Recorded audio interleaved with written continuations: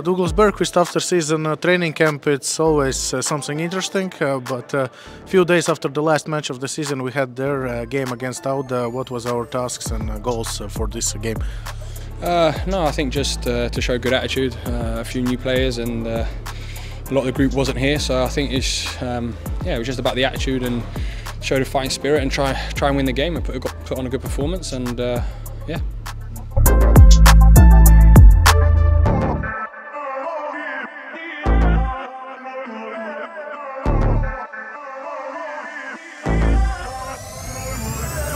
How do you think uh, we showed this attitude? There was a lot of emotion, a lot of tackles. Yeah, yeah, for sure. I think um, I think on both parts, both teams wanted to win, and uh, it's been a rivalry, I guess, in the, in the league and, and, and whatnot. But um, yeah, no, I think I think first off, especially, we were very good. Um, yeah, some silly mistakes here and there. We didn't take our chances, um, which has been a bit of a, a common theme. Uh, and when you don't take your chances, you get punished. Uh, at this level, uh, and they were good. Uh, and then I think second half it just uh, yeah it got away from us a little bit, and then they started.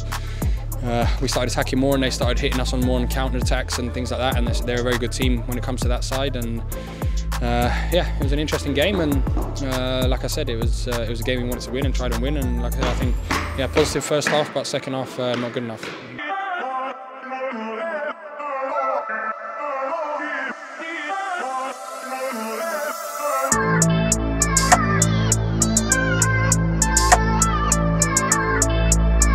Ten more days uh, in Cyprus. What do you expect from this uh, time uh, here in uh, this country? Yeah, no, I think uh, again it's just uh, end of the season can always be difficult here, there, and everywhere. He's mixed, mixed team and these things, but I think we just have to try and make the most of it. get together as a team, train, see the positive side of things, and it's nice weather, so enjoy the weather and and put the work in that. Um, we can go on holiday and enjoy the holiday to make sure we're, we're ready when we come back.